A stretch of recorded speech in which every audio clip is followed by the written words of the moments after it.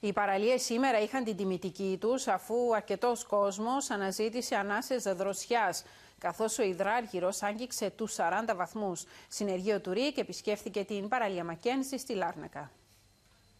Ο υδράργυρος καρφάλωσε και σήμερα στους 40 βαθμούς στο εσωτερικό και όθησε αρκετούς πολίτες να επισκεφθούν τις παραλίες. Αυτό το Σαββατοκυριακό οι παραλίες της Λάρνακας έχουν την τιμητική τους. Αρκετοί πολίτες επέλεξαν τις παραλίες της πόλης μας για να πάρουν ανάσες δροσιάς. Ε, σας χαιρετούμε από τη Λάρνακα, δίπλα από το Μακέζι.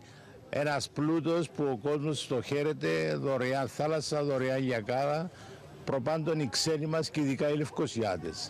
Είναι ψηλές οι θερμοκρασίες. Είναι πάρα πολύ ψηλές οι θερμοκρασίες. Ε, κολυμπούμε 12 μήνες το χρόνο. Είμαστε πάρα πολύ τυχεροί που έχουμε αυτήν την ομορφιά. Η Λάρνακα προσφέρει τις καλύτερες παραλίες.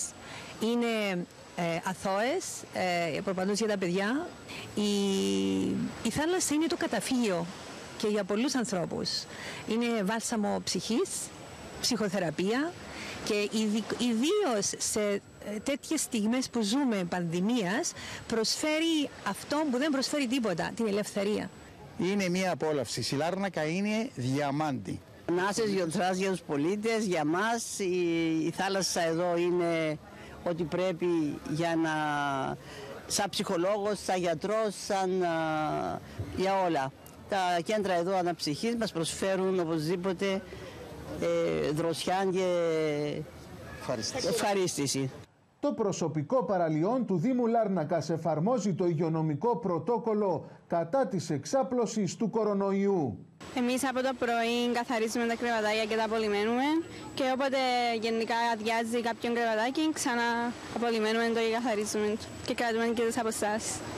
Ναι, επειδή είναι πολλά ζέστη, θέλω σε αναστροφικά, πορτογαλάδες, πράγματα, νερό, κάνα φραπέ, λεμονάδα, τέτοια πράγματα. Τι είναι αυτό που παραγγέλουν για να δροσιστούν; Ε, οι περισσότεροι πολίτες προτιμούν κάτι σε γρανίτα για να δροσιστούν, αλλά υπάρχουν και οι σταθεροί πελάτες του φρέτο εσπρέσο, ας πούμε, ε, συνηθισμένο πράγμα.